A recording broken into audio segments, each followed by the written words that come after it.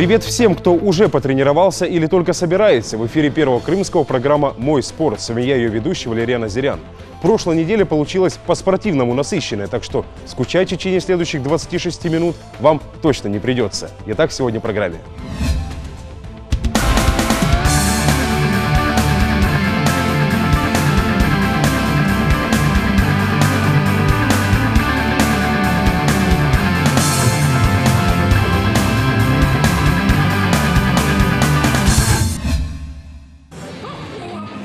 Для Нияза Измайлова это золото на самом деле дорогого стоит, как минимум по двум причинам. Во-первых, соперников его весовой категории было 15 человек, а во-вторых, это были настоящие мастера своего дела. Достаточно сказать, что в финале ему противостоял действующий чемпион мира, но Нияз с таким сопротивлением все-таки справился. Для меня это успех, как бы заявка. Я вижу, что мой уровень как спортсмена растет. Я понимаю, что нельзя останавливаться на достигнутом. А вот Александру Порошину стать первым не удалось. Слишком сильны были соперники. Крымчанам, по его словам, в принципе тяжелее, ведь в Украине конкуренция у наших рукоборцев была скорее символическая. То ли дело теперь. Каждая медаль – это результат огромных усилий. Поединков у меня было 4 поединка. 4 поединка. Ну, было э, как бы два сложных, потому что я с этими ребятами встречался на мире на Европе. Хотел посмотреть, э, как они ну, пока безрезультатно. Будем работать над этим. Федерация армспорта Крыма новое достижение уже назвали особенно важным, ведь теперь Крым будет представлен на предстоящем чемпионате Европы и, что еще значимее, на всемирных играх людей с ограниченными физическими возможностями, которые пройдут в Сочи в сентябре. Наши спортсмены завоевали путевку в составе сборной России на эти соревнования. Я думаю, э, в том плане, что этот год не олимпийский, э, медали со всемирных игр, которые пройдут в Сочи в сентябре 2015 года, я думаю, это будет большое завоевание. А там перед ребятами цели ставят максимальные. Учитывая регулярные успехи крымчан на международной арене, задача только выигрывать.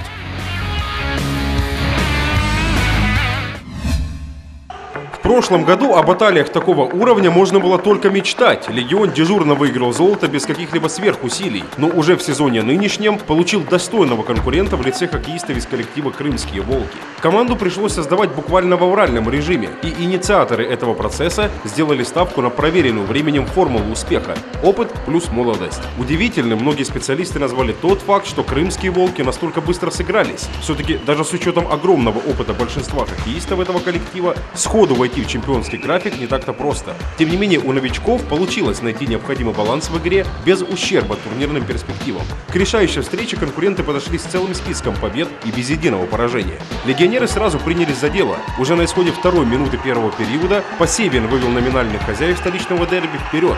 Волкам понадобилось почти 10 минут, чтобы восстановить статус-кво. Шайбу забил Овчаренко. Ключевой стала вторая 20-минутка, когда Карпенко и все тот же Овчаренко сделали счет 4-2 в пользу Волков. Все, на что хватило легионеров, это отыграть одну шайбу перед самым перерывом. А когда волки вышли вперед, там уже было, конечно, волнение уже присутствовала. И в перерыве немножко как бы пытались успокоиться, но видите, не получилось.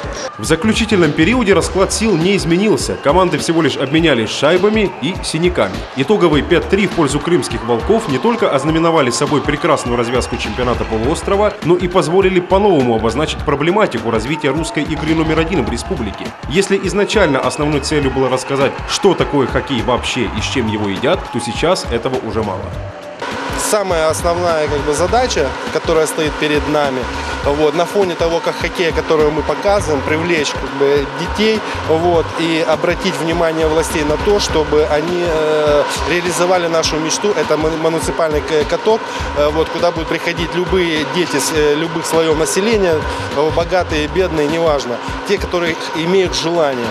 Вот, это основная наша задача, это каток. С опытным тренером трудно не согласиться, ведь сейчас увлечение детей хоккеем вылетает их родителям в хорошую копеечку. Секция раз-два и обчелся, а месячный абонемент для ребенка стоит порядка 4000 рублей. И это без учета сопутствующих расходов вроде формы, личного тренера и выездов на поединки. Тогда цифра увеличивается минимум вдвое. При такой ситуации говорить о хоккее как массовом виде спорта, каким он, собственно, и должен быть, не приходится. Но, по всей видимости, с такой реальностью придется мириться еще долго, ведь строительство муниципального катка в планах есть. Однако о конкретных сроках их реализации во властных кабинетах пока предпочитают не распространяться. Они не только мужественные, но и меткие. Правда, чтобы это проверить, спортобществе «Динамо» решили организовать специальный турнир. К участию удалось привлечь порядка 100 правоохранителей из разных регионов Крыма. К примеру, пограничник Дмитрий Кизилов уже давно шел к золотой награде в спортивной стрельбе. Однако все никак не получалось. Звезды сошлись в этот раз. Дмитрий был метким как никогда, а конкуренты, наоборот, допустили слишком много ошибок. Кстати, его здесь уже именуют полноправным универсальным солдатом. Там я в этом году был четвертый по самбо, третьим по дзюдо, и еще э, первый по стрельбе, и еще впереди у нас эстафета, где тоже хотим команды. Вот, наверное, вот, может, не привязка к чему-то, а всему, может, поэтому ну, интерес, кайф, может, не знаю, драйв.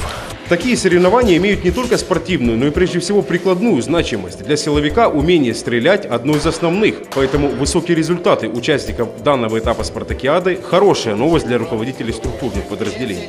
Те сотрудники, которые показали э, результаты с 1 по 6, так скажем, э, выступают на уровне. Я думаю, что они и составят костяк команды на наших соревнованиях Центрального совета «Динамо». Кстати, в случае равенства в таблице спартакиады ключевым фактором для той или иной команды будут именно показатели в стрельбе и стабильного оружия, и автомата Калашникова. Этот вид станет следующим в спартакиаде силовиков. Нашим сегодняшним видом спорта, наверное, хоть и раз в жизни занимался каждый, однако в свое время предприимчивые люди превратили любимую застольную забаву в профессиональный вид спорта, который теперь имеет миллионы поклонников по всему миру. С одним из его самых ярких представителей в Крыму мы сегодня и потренируемся.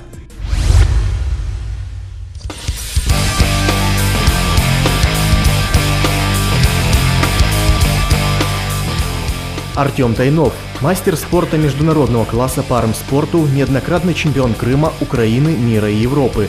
В 19 лет уже выиграл Кубок мира среди профессионалов, на тот момент став самым молодым спортсменом, сделавшим это.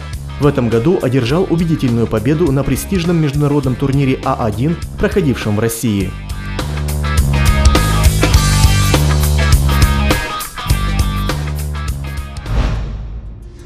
Артем, привет. Здравствуйте. Спасибо, что нашел время в своем графике. Расскажи, что мы сегодня будем делать, потому что вот внешне кажется, что армспорт это просто, но, наверное, если все было так просто, не было бы так много, да? А, хочу сказать, что с виду, да, выглядит он очень просто, а на самом деле надо очень много усилий в тренировках принимать. Что, да, борьба идет секунды, но максимум там, ну, до, до минуты доходит. Но тренировки очень утомляющие, изнуряющие и специфичные. Ну смотри, чтобы она меня полностью не изнурила сегодня, расскажи, что мы сегодня будем делать? Тренировка для новичка по а, спорту, из чего ну, она заключается? Ну, как в виде спорта идет тренировка с начинается тренировка с разминки. То есть это мы будем подтягиваться, отжимания от брусьев, это каленькая разминочка. Первое это разминочный подход, это идет подтягивание. Хват, хват не имеет принципе значения, можно чередовать хват, то есть внутренний, внешний, узкий, то есть как вот. Ну, классические подтягивания. Вот.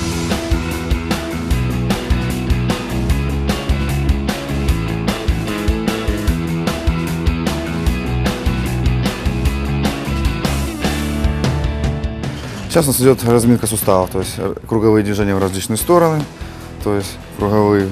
Вот, также тут плечевые суставы мы разминаем также, да. То есть основной акцент все равно да. идет на руки, да? Естественно, да, потому что нагрузка идет у нас на тренировку в основном на руки, поэтому, конечно, надо размять руки хорошенько. Потом локти, допустим, каждой отдельности, да. Тоже в разные стороны покрутили чуть-чуть. Также левой рукой. Вот. То есть так, элементарная разминка проведена. Дальше мы будем делать молотковые упражнения. То есть это идет борь... упражнение для развития молотковых движений, то есть для борьбы верхом. Становимся вот. Наклоняемся чуть-чуть вперед. И вот, и поехали. Кисть развернута. То есть она не завалена сюда, она наоборот развернута вот в эту сторону. И поехали. Вот такое делаем движение.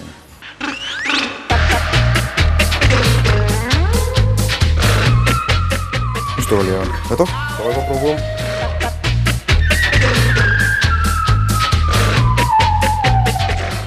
немножко видоизменяем. Но это упражнение для новичка, оно будет, может, непривычное в движении, но я думаю, мы научимся. Вот, становимся боком, вот, рука развернута. И поднимаем вот, это называется пронация. Это тоже как бы движение участвует в борьбе вверх. Вот.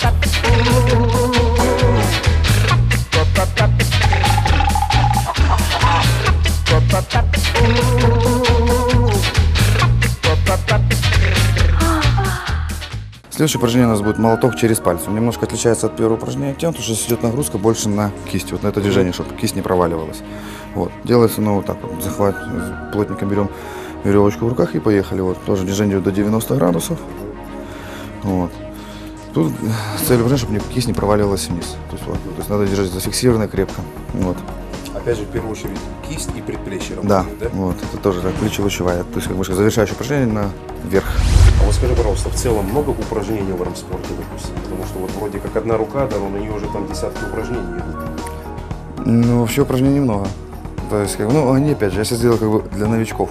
То есть она идет общая, развивающая. То есть, как бы, конечно, естественно, в идут, когда допустим, мы тренируем вверх, мы тренируем вверх.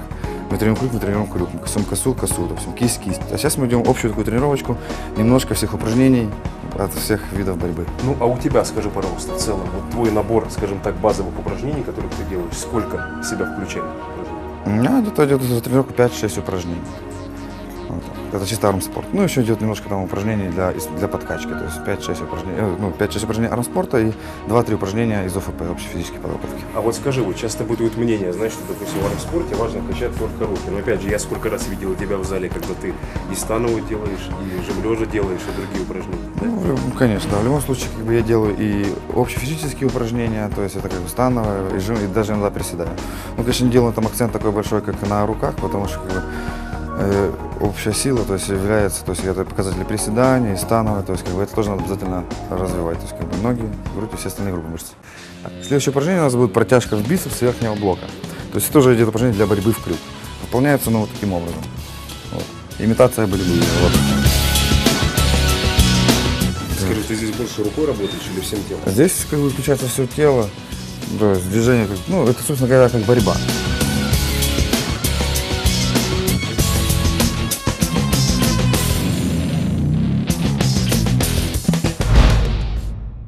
Артем, ну, а ты сейчас помнишь, с чего, собственно, все начиналось? Потому что, знаешь, нынешние твои современные, скажем так, результаты у нас все, всем видны уже, что называется. Как все начиналось? А, Начиналось давно, еще в 2003 году в школе. Я был очень худом, худой, худой. Ну, высокий, худой такой, худощавый парень. Решил как-то заняться чем-то, чтобы стать покрупнее и пошел в спортзал. То есть, ну, сначала занимался дома, меня отец тренировал. Потом при переезде в город так получилось, что переехал на студгородок жить и искал ближайший зал. Попал в зал Катариди Георгий Панайотович. То есть он мне как бы предложил выступить в соревнованиях универ- университетских. Будучи в школе, я выиграл университетские соревнования. Мне очень понравилось, очень загорелся. И начал готовиться тренироваться на чемпионат Крыма. И так пошло-поехало. То есть выступил на чемпионате Кры- Укра- Крыма удачно, стал первым. Поехал на чемпионат Украины, тоже выиграл. Ну, налево стал первым, направо, правда, четвертый, ну, еще выиграл. То есть поехал на чемпионат Европы, там, конечно, уже так, не, не так пошло все хорошо, стал шестой, ну, понял, что надо заниматься. Начал заниматься правильно, тренироваться. И в итоге так стал потихоньку прогрессировать, прогрессировать и дорос до такого уровня. Ну, а скажи, а был ли момент, когда вот ты всерьез засомневался, что вот ты сделал правильный выбор? Потому что, ну, будем откровенно, армспорт – это не олимпийский вид спорта, и в связи с этим очень много сложностей возникает, прежде всего финансовых возникает. Да, согласен, есть такие затруднения, сложности. Думаю, в ближайшем будущем они справятся, но хотелось, конечно, надеяться на лучшее, потому что как бы, да, очень часто приходилось ездить за свой счет, подготовка, все это тоже сложно. Ну, нравится заниматься, это, как можно сказать, хобби, поэтому как бы занимаюсь. Есть возможность, занимаюсь, езжу. Бывает нет возможности, получается так, что не езжу на соревнования, но в основном езжу. Дальше. Выполняем. Встали. И рука здесь не двигается, здесь идет нагрузка чисто на сустав. То есть развиваем силу связки и сустава. Вот. Идет движение. Тоже практически такое же, но идет без, без движения локтя, чисто наклоняемся в бок.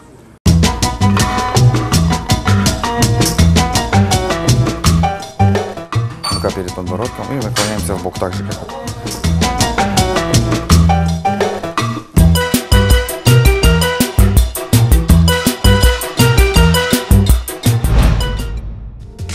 многие боксеры говорят, что схватки часто не выигрывают еще до начала поединка, благодаря всего лишь взгляду. Кажется, это не так много, но тем не менее.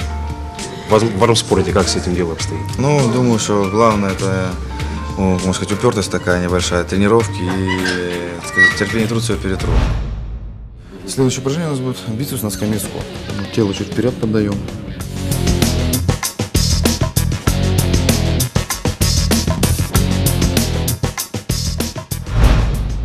В армспорте действительно, кажется, все продумано до мелочей уже, да? Есть ли что-то новое в этом виде? Или нет? Можно что-то новое придумать? Или, в принципе, ты можешь только усовершенствовать то, что уже А, придумал? вот, ну, много, то есть в интернете смотрю много то есть, новых каких-то таких упражнений. Некоторые даже упражнения очень интересные. Просто не то, что как упражнение, может, приспособление. То есть новые ручки специальные придумывают, новое какое-то движение, неудобное. То есть все вот это, конечно, еще, конечно, много чего можно придумать новенького в спорте. Просто это надо придумать еще просто. Если, допустим, человека нет возможности прийти в спортзал, может ли он в домашних условиях хотя бы на более-менее приемлемом уровне освоить азарм спорта? И как это делать? Ну, Спорт, в принципе, легкодоступный, и заниматься можно где угодно, как дома, так и в спортзале. Ну, думаю, сварить стол в домашних условиях, это не такая уж большая проблема, то есть железо, металл и сварщик, вот и все, то есть стол готов. Также есть резиновые петли, то есть никто их не, не- запрещал, то есть мы, я тренируюсь также на резиновых петлях, то есть это очень, можно сказать, нагрузка зависит от толщины резины или там сколько резин смотать вместе, то есть те же упражнения можно выполнять на резине. Также, думаю, есть гири у всех, есть лямки. То есть можно это все менять лямки с гирями делать. То есть вариаций очень куча, очень много, поэтому, думаю, и заниматься в домашних условиях можно. Единственный минус в домашних условиях нужен спарринг-партнер. А спарринг-партнер, как бы, ну, это уже надо, конечно, ездить, искать их, то есть бороться на барах. Потому что без борьбы, это, грубо говоря, если занимаешься дзюдо самбо, отрабатываешь приемы, а борьбы нет. Или там же в бокс стоишь на груше бьешь, а не боксируешь. То есть, как бы, в любом случае нужны спарринги. Ну, а смотри, а вот для тебя, опять же, сильнейшего спортсмена Крыма, Украины, России сейчас в армспорте, скажи, вот для тебя проблема спортсмена, спарринг партнера, насколько остро стоит? Ну, да, в последнее время спарринг партнеров у меня мало, конечно, в Крыму они есть. Это Чиндясов Сергей, хороший спортсмен, Андрей Борсков Севастополя, Айдар Альдинов, то есть с Расимями. Тут, можно сказать, это вот костяк, с которым мы встречаемся, иногда боремся.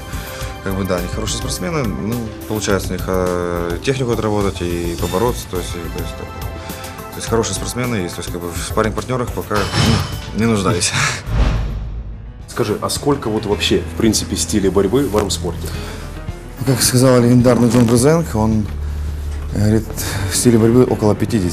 Ну, как основных идет где-то ну, 3-4, то есть это борьба в крюк, борьба верхом, в косу и универсальная. Правильно мы говорить, допустим, что настоящий чемпион по армспорту, он должен быть универсальным бойцом, что называется? Согласен, да, потому что как бы, если ты борешься однообразно, то против тебя могут спокойно и быстро найти ключ и выигрывать потом тебя. Хотя ты будешь очень сильным, но будет одна сторона слабая, и через эту маленькую сторону тебя будут проходить и выигрывать.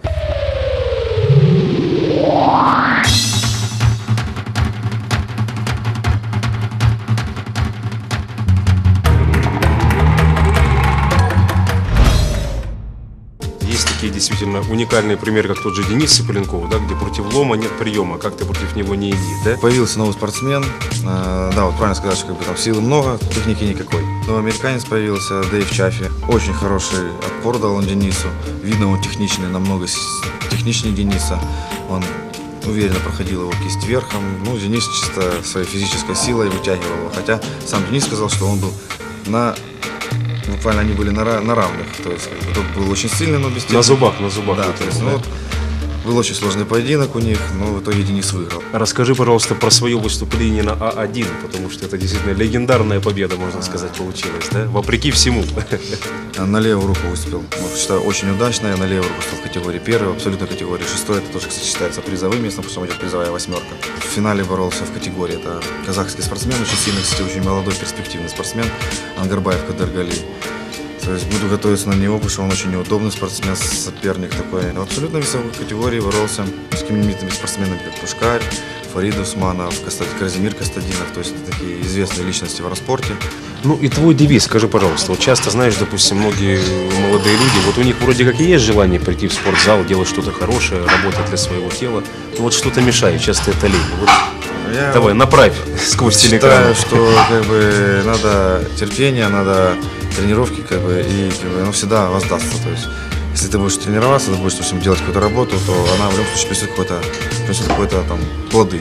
То есть ничего бесследно не проходит. То есть надо тренироваться, естественно, достойно тренироваться. Не пришел там в зал, как бы галочку поставил, я был в зале, все, а надо, то есть, вкладываться на все сто процентов, и тогда будет результат. Тренировка заканчивается у нас э, тренировкой кисти, потому что это самая выносливая мышца, то есть ее можно тренировать в самом конце, потому что на нее силы всегда найдутся. Вот. Тут, собственно, ничего такого сложного нет, упражнение выполняется вот так. Становимся и закручиваем движение вот. Желательно вообще в армспорте тренировать каждую руку отдельно, потому что боремся же мы-то одной рукой, а не двумя. Поэтому все упражнения отдельно, изолирующие на одну руку.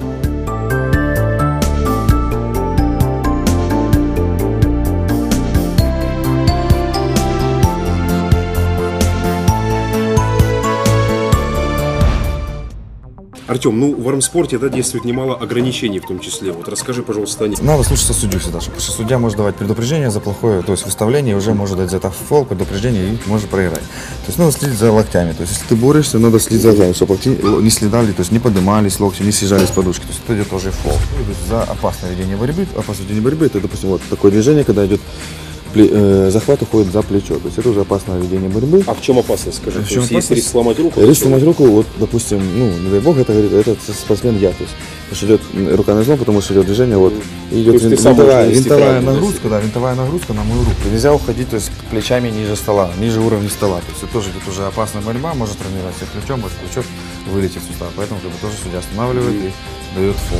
А вот покажи, пожалуйста, вот, только не очень сильно одна просьба. Смотри, вот стили борьбы непосредственно. Крюк, это как? То есть, крюк это идет, закручиваешь как кисть внутрь, вот сюда вот. Вот, и протягиваешь вот сюда вот. Вот это идет уже крюк. Вот. А борьба верхом расскажи. А наверх, то есть это заключается в том, чтобы выбить кисть соперника вот сюда наверх. То есть оно идет движение вот такое. Вот. То есть если, если выбиваешь кисть, то это уже, как можно сказать, 90% победы.